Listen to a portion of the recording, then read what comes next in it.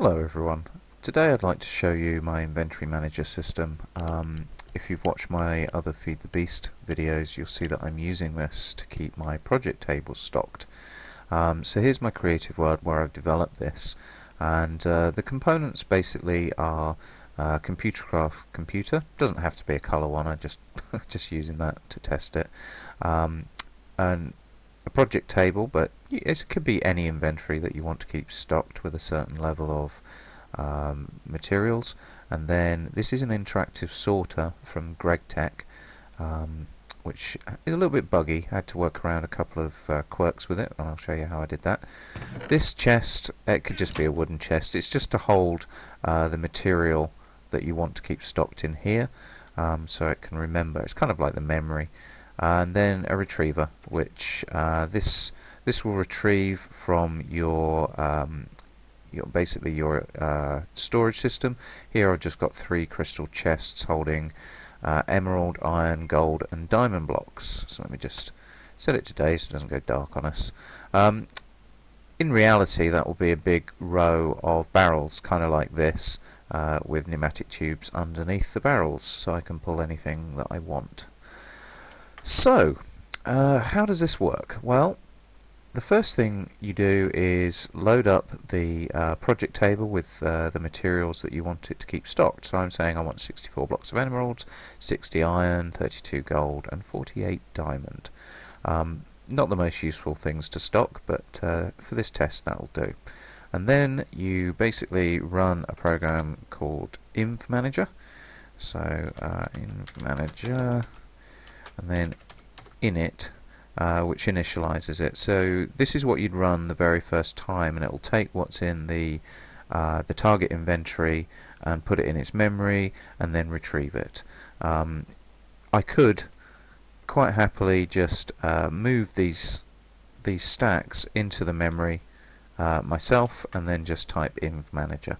Um, so inv manager without the init parameter uh, is what you'd want to have in your startup script so that every time you logged in and the chunk got loaded it um, it started managing the inventory. So all it's done now is, uh, well, all it did, I, was, I wasn't quick enough, basically it pulled all those things into its memory, then it pushed them into the retriever, and then it pulsed to retrieve them. So we should find them the the amounts that we want in the project table and then it puts puts the things back from the retriever into the memory. Uh, the way I have it set up is you need um, you need the full stack. So I could actually do a multiple, so I could maybe you know multiply it by two or four, um, so I could have you know a quarter or a half the amount of resources in here.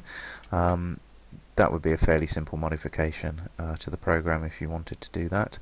Um, but basically, let me let me explain how this works and what these extra pipes are for. So, when it needs to retrieve something, the um, this interactive sorter will pull whatever it needs to retrieve and the, the amount that it needs to retrieve uh, into itself and then put it into the retriever.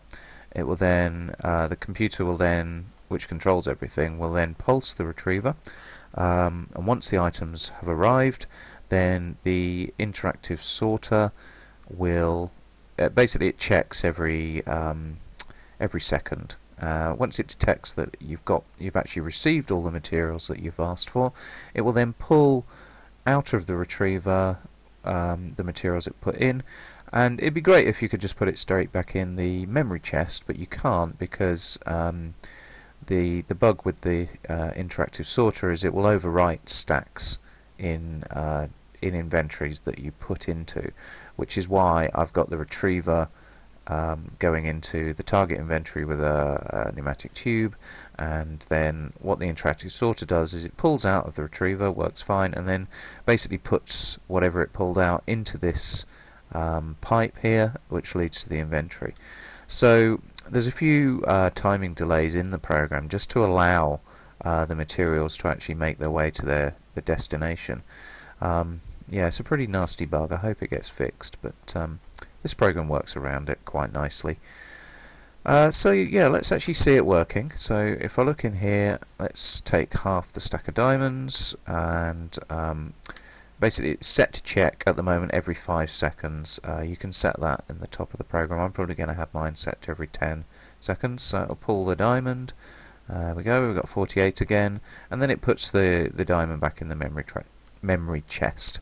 So um, another interesting thing is when you're actually working at a project table, uh, you don't really want to have it uh, trying to restock because if let's say I'm I'm making something I take the whole stack of gold and I want to sort of make a certain shape in here um, I don't want it thinking oh I've got to get 32 gold because actually let's say I use up all these on whatever I craft um, it actually only needs to get uh, 6 so um, when you stood on the pressure plate I have that uh, disable the checking.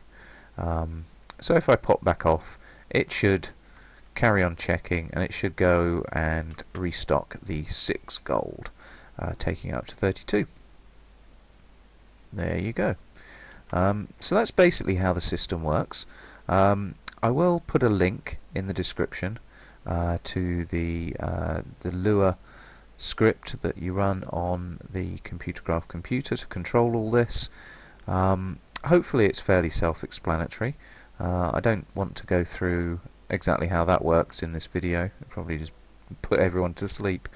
Um, yeah, but if you're not if you're not worried about how that works, um, the only other things you you need to know is you can actually set different facings.